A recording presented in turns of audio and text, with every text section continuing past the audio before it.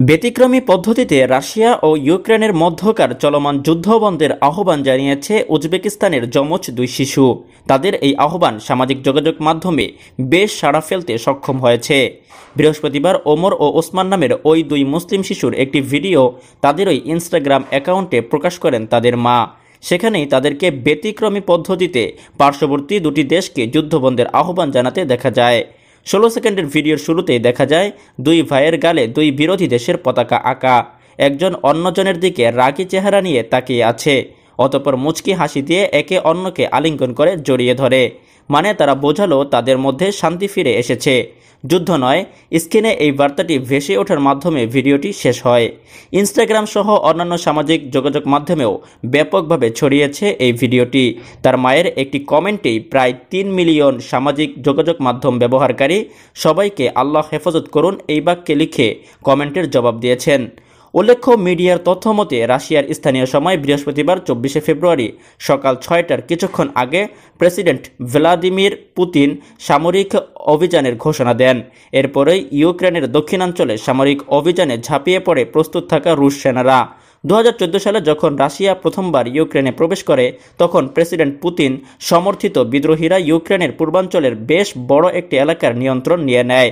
এরপর থেকেই তারা ইউক্রেনের সেনাবাহিনীর সঙ্গে যুদ্ধ করে আসছে। তবে সাম্প্রতিক খবর হলো, বিদ্রোহীরা শুধু যেটুকু এলাকার নিয়ন্ত্রণ করছে, শুধু সেটাই দাবি করছে না। তারা পুরো দোনেস্কো এবং লুহানস্কো অঞ্চলকে নিজেদের বলে দাবি করছে। যুদ্ধবন্ধে একটি আন্তর্জাতিক মিনস্কো শান্তি চুক্তি হয়েছিল, কিন্তু লড়াই তাতে থামেনি।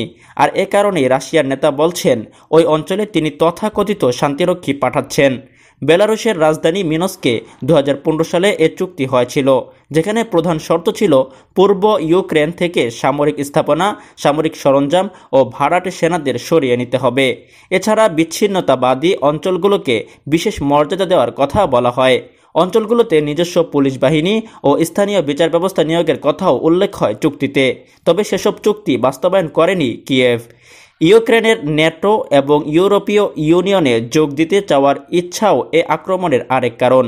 কারণ অনেক দিন ধরে সেই বিষয়ে আপত্তি জানিয়ে আসছে রাশিয়া। রাশিয়ার দাবি, পশ্চিমা দেশগুলোকে নিশ্চয়তা দিতে হবে। ইউক্রেন ন্যাটোতে যোগ দেবে না। ন্যাটো পশ্চিমা দেশগুলোর একটি সামরিক জোট, যেখানে তিরিশটি দেশ রয়েছে। পুতিনের দাবি, ইউক্রেন পশ্চিমা দেশগুলোর হাতের পুতুল এবং কখনোই প্রকৃত রাষ্ট্র ছিল না। এছাড়াও আরেকটি কারণ হল, ইউক্রেন দেশ হিসেবে স্বীকৃতির পরও সাবেক সোভিয়েত ইউনিয়নের একটি দেশ হিসেবে রাশিয়ার সঙ্গে দেশটির গভীর সামাজিক এবং সাংস্কৃতিক সম্পর্ক রয়েছে।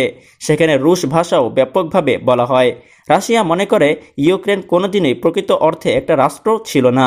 তিনি এর আগেও বলেছেন, এখন যা ইউক্রেন, তা আসলে প্রাচীন রুশ ভূখণ্ড।